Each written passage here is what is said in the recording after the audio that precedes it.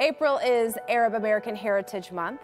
The Arab American community is rich with diversity, entrepreneurship, culture, and art, especially our Arab American community right here in the D. A culture cornerstone of this community is the Arab American National Museum in Dearborn, the country's first and only museum dedicated to the Arab American experience. They are joining us now live to help us celebrate this month, and we want to welcome the director of the museum, Diana Abouali. Thank you for being with us. Thank you for having me. It is our pleasure. Now, tell us a little bit about the Arab American Heritage Month and how the museum is celebrating. I can see you're in the beautiful rotunda of the museum. That's right. Um, I want to wish everybody and you as well, Tati, uh, happy Arab American Heritage Month and also happy Ramadan for those who are observing and fasting. Um, Arab American Heritage Month is a month where we celebrate the heritage of the uh, Arab community here in the United States. Uh, it's a longstanding uh, community that's been here for about a century, a little longer. And here at the museum, we celebrate by um, having special events. Um, you know, we do uh, special, uh, you know, convenings, film series, things like that, just to sort of put out the word that today, this month is a special month where the Arab American community is celebrated and, um, yeah, celebrated. Yeah a great opportunity for people to connect with the community as well. And one way that the museum celebrates Arab, Arab heritage is through its artist and residency program. Tell us about this.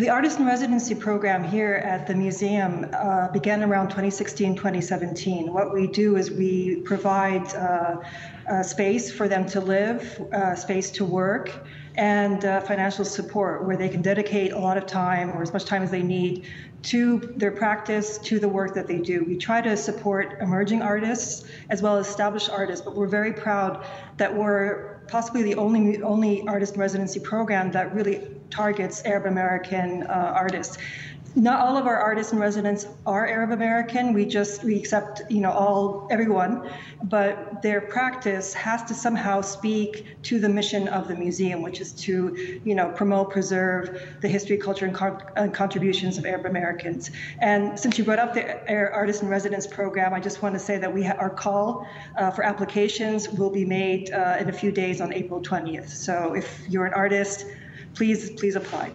Okay, that's awesome. Now, how can people support the Arab American community, not just this month, but all year round? I think, I mean, there's many ways to support the community. Uh, you can uh, support Arab uh, American owned businesses, uh, support Arab American artists. Uh, one way is to support the museum, which is dedicated to uplifting and supporting the community. We have membership we have memberships, and they're very inexpensive, and it's a great way to support this singular institution that's located here in Michigan. Now, where can people learn more about the Arab American Museum?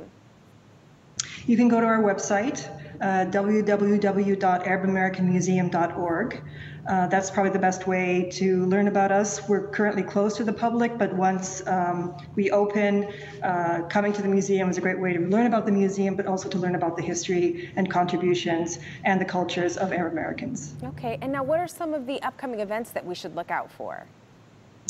So um, we have a film series. Uh, we have a monthly film series, and uh, we have a screening of Breaking Fast. So it's a film about Ramadan, um, and it's going to be screened on Saturday, April 24th, and Sunday, April uh, 25th, and that will be at 6 p.m. Uh, we also have a virtual open mic and iftar.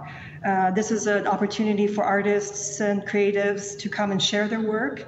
Um, it's also an iftar, so that's a breaking fast for Muslims who, you know, too fast during the day, but anyone can come and bring a snack or bring a meal. And the theme of the uh, event is what's on your plate. So participants can talk about um, what's on their plate, both figurative, literally, and figuratively as well.